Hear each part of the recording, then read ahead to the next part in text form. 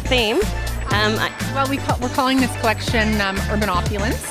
And uh, the, the thought behind it was our strong, um, empowered line girl, who we think she is, um, but with, uh, you know, her urban um, necessities. And uh, we were thinking of her in like a gilded city. So the, this washing of gold and this idea of this um, glimmering of gold and the idea of a little bit of opulence with the holographic and the and the and I love the I love the little like peak of holographic material was amazing. that that's kind of her opulence.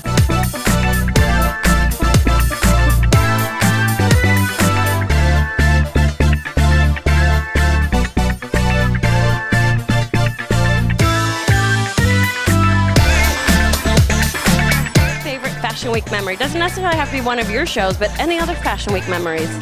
I think the first show that we did because we had never done a show, Yeah. and it was such an explosion of excitement.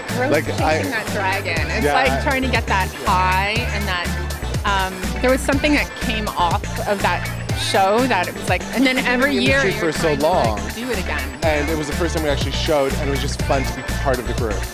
So I think that's my favorite fashion show moment.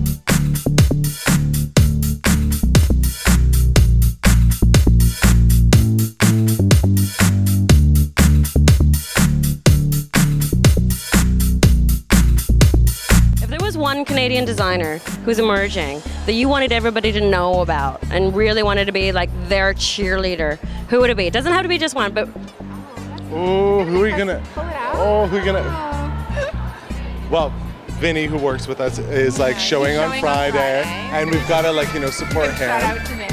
Um, you know, it's his first runway show, and we wish him the very best.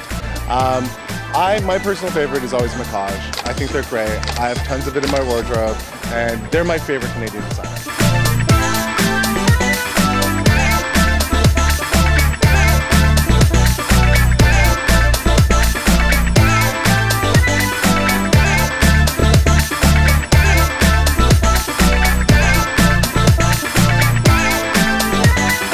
This is Gail McInnes talking to you from backstage at World Mastercard Fashion Week following the Line Knitwear show.